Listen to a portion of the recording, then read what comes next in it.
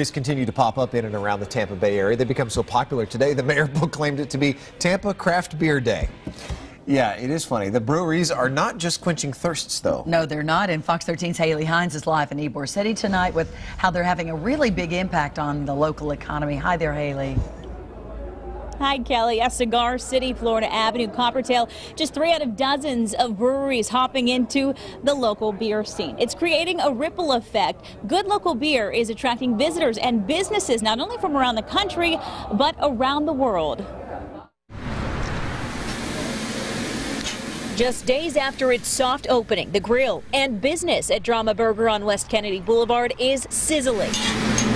This gourmet burger company is unique to Tampa and actually the entire U.S. The only other place you'll find it is 5,000 miles away in Lithuania. We're uh, set our sights on the biggest challenge of them all, America, the burger motherland. So why Tampa? There's warm weather, a growing gourmet scene, but also because the, the craft beer scene is just incredible here. It's uh, such a big variety of beers. Good, good burger goes with a good beer.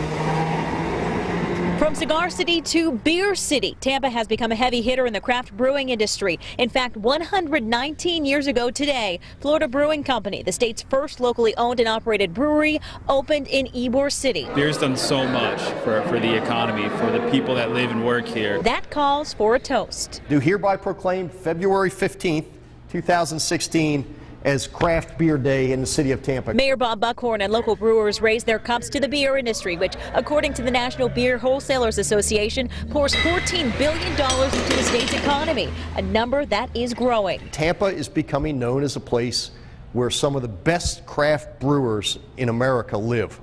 And you combine that with the food truck surge, and you combine that with the restaurant uh, surge and the amazing chefs that are now calling this home. Drama Burger is the most recent. Uh, we have Cigar City, uh, we have Cycle. Combining European flavors with Tampa's taps. We're more than excited to be in Tampa at this at this moment when it's so exciting with the, with the, with the local beers here.